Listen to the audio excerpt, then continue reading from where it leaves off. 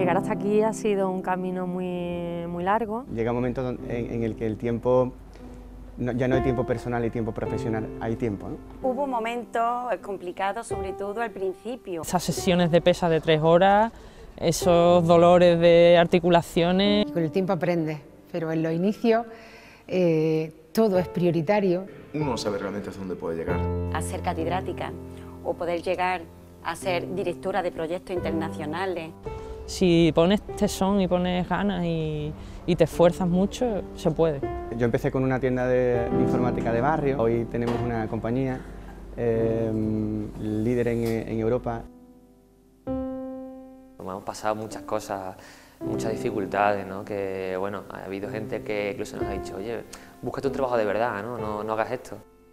Yo he experimentado el, estar, por ejemplo, en un auditorio con más de 7.000 butacas en Hong Kong, en Shanghái, dirigir y luego marcharte a tu habitación de hotel y vuelves a ser una persona completamente anónima. Es un camino muy selectivo, muy selectivo, tan difícil como ser estrella del rock and roll o futbolista del Real Madrid. Tirarnos así a la piscina como hemos hecho, creyendo en nuestra idea, puedes de ser valiente y, entonces es muy reconfortante cuando ves resultados.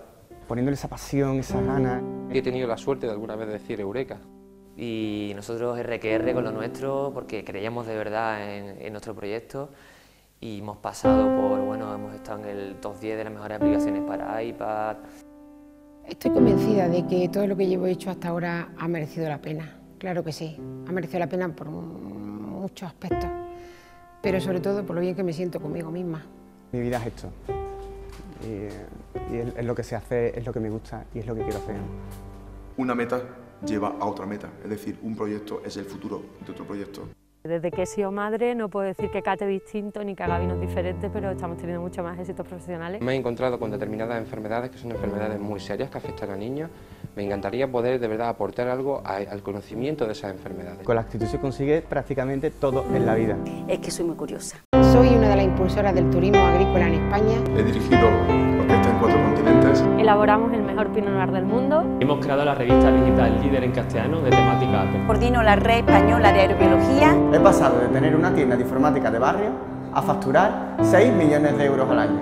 He sido ocho veces campeona de España en jabalina. Soy investigador Howard Hughes. Soy andaluza. Soy andaluz. Soy andaluza. Soy andaluza. Somos andaluces. Soy andaluza. Soy andaluz. Soy andaluza.